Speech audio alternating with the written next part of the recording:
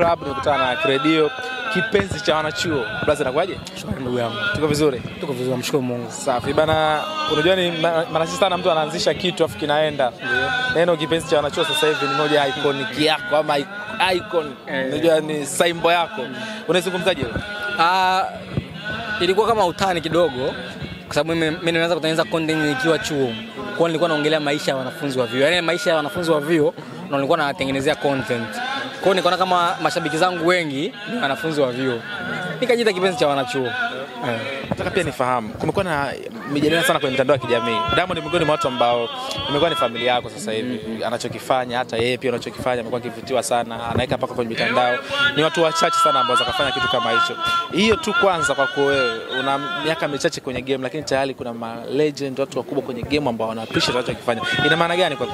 Ah, cha kwanza uh, mimi na enjoy sana, namshukuru Mwenyezi Mungu, nafurahi.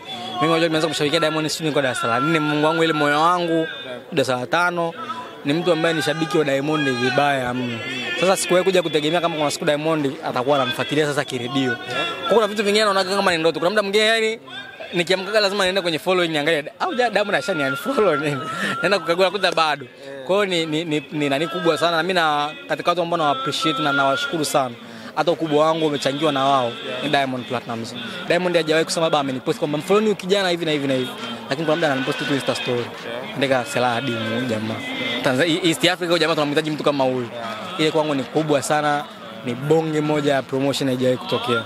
Kwa hiyo namshukuru Mwenyezi Mungu, nashukuru pia uh, namshukuru Mungu kwa ajili ya Diamond Aha, kwa sababu amekuwa amekuwa ni mtu ambaye kuna, kuna namna fahamu, najua kuna mahali nipo ambako bila yeye pia labda nisingekuwepo sasa hivi. Katika hilo pia juzi alizungumza kwamba na ndoto yake kubwa ni kuwa tajiri namba moja duniani, na miongoni mwa watu ambao alilipinga sana kina Mwijaku pia. Kwa nini watu kama wana kama jamaa itakuwa katumia wanapinga, si inakuwaje? Unahisi anaweza hiyo ndoto akaitimiza, na kwa nini pia unahisi watu wanapinga hiyo?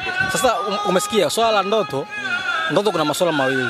Kwa mfano unaweza kuta mimi ndoto yangu ilikuwa kuwa rubani, imeshindikana. Wewe labda ndoto yako labda ilikuwa ni kuja kuwa mtu fulani, lakini sasa hivi uko hapa. Ndoto sio lazima ikamilike, lakini ukishaweka ndoto, kuna namna utakuwa unaipigania ifike. Hata isipofika, kuna mahali utakuwa umefika kiasi kwamba utakuwa umewacha watu wengine nyuma. Kwa mfano, sasa hivi unaweza kuwa tajiri namba moja duniani, haiwezekani lakini kuna namna utakuwa umepambana ndoto yako kiasi kwamba wewe utakapokuja kuishia unasema da, nimeshindwa. unje kushtuka, eh, wewe ni tajiri namba moja Tanzania. Kwa hiyo wengine wanakuwa wanapiga kelele, lakini wewe ushakuja kuwa tajiri namba moja Tanzania. Oh, unamshukuru Mwenyezi Mungu. Okay. Mm. Una- una- Unahisi ana nini, kwa nini Mwijaku amezingua kwenye hilo? Ah, Mwijaku yeye hata Diamond angesema anataka kuwa maskini wa mwisho Tanzania Yeah. angemzingua. Yaani Mwijaku na Diamond yeah. ni kawaida.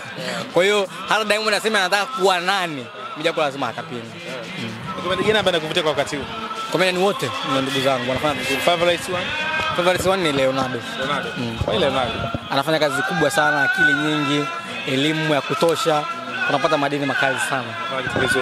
mm. Ulifanya uh, mchango kitu kama hicho kwenye mtandao na watu wengi wamesapoti pia.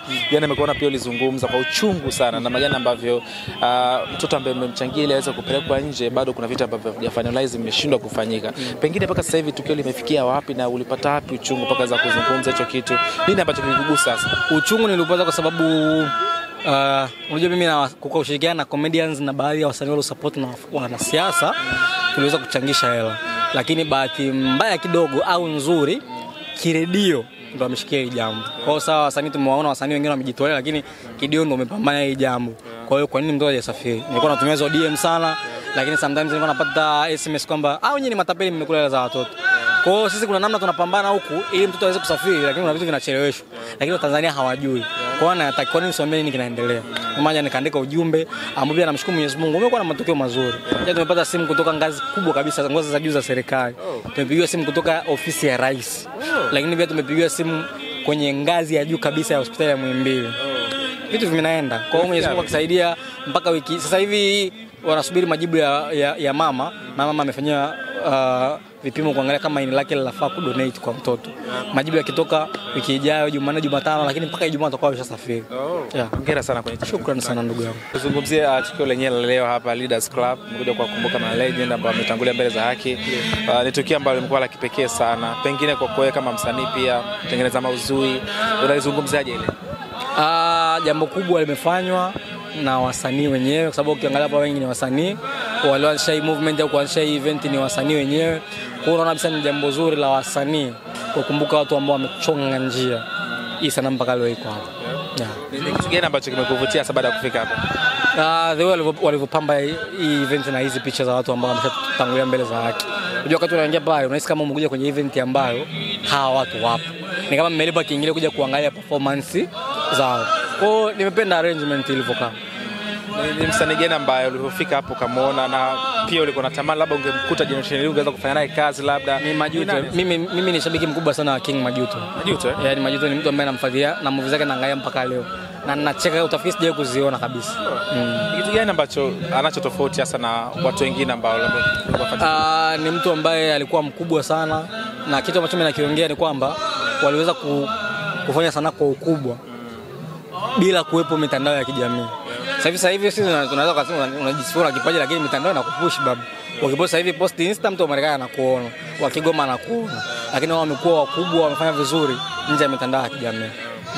Nataka nifahamu, nikikuangalia kwenye pua kama una kovu hivi na majuzi kati kuna content ambayo ulizitengeneza ikasemekana umepigwa na hata kuna mbili nyingine ambayo kwa nabisha pia, ila mimi nimekuona una kovu. Nataka ni- nifahamu zile zilikuwa ni ukweli ama kuna kuna Sasa editing kibao? Mi- mimi sikupigwa ila mimi wakati watu wanaongelea kwamba nimepigwa bahati mbaya nikapataga ajali nikaanguka na pikipiki kwa hiyo sasa unajua ni sasa sasa hivi unasema kwamba bana mimi nimejenga nyumba nataka nizindue wiki ijayo nyumba yangu kubwa eh ninunua gari kali alafu pap mzazi wako anafariki leo Yaani ni ngumu sana kuja kuaminisha watu hivyo vitu unavyokuja kuvizindua au ya mtoa mzee.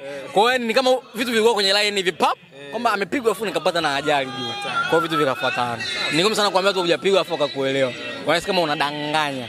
Eh. Inakukata kwa namna moja ama nyingine, unapoandaa kitu kama ile, tokea kitu kama hicho, watu wanaamini tofauti. Amna ni as long as mimi nanipa numbers. Unajua sisi numbers ndio biashara yetu.